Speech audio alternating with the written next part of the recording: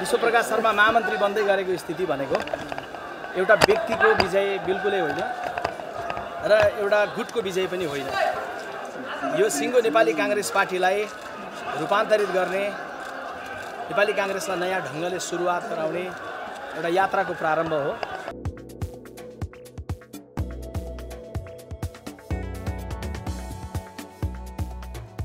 त्यसकारण फरक फरक विचार समूह रहेकाहरू सबै साथीहरूको मत प्राप्त भएर जित्नु भनेको सिङ्गो काङ्ग्रेसलाई एउटा सयौँ थुङ्गा फुलका हामी एउटै माला नेपाली भन्ने जस्तै भावनामा गाँच्नु भन्ने हो।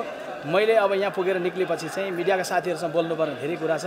सुन्दरी जलको जेल बिपी कोइरालालाई जहाँ राखिएको थियो जुन माटोमा ढोगेर मैले महामन्त्रीको उम्मेदवारी घोषणा गरेको थिएँ पार्टी कार्यालय एउटा परिणाम आइसकेपछि म सिधै सुन्दरी जलको माटोमा गएर ढोगेर मेरो यात्रा प्रारम्भ गर्छु। त्यसकारण मिडियाको मिडियाका सबै साथीहरूलाई साढे चार बजे पछाडि सुन्दरी जलको जेलमा निमन्त्रण गर्न चाहन्छु।